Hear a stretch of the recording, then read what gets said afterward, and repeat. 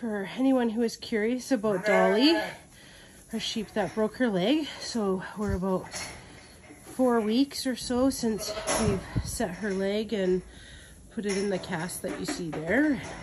Today we've noticed that she started to put a little bit more weight on it and she's taking steps.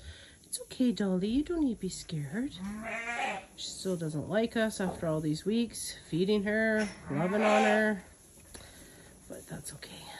But yeah, she's definitely uh, doing a little bit better, we think. We won't know what uh, situation it's healed in until we take it off, but she's putting a little bit more weight on it, so that to me is a good sign. Come on, Dolly. No? Okay. Bye-bye.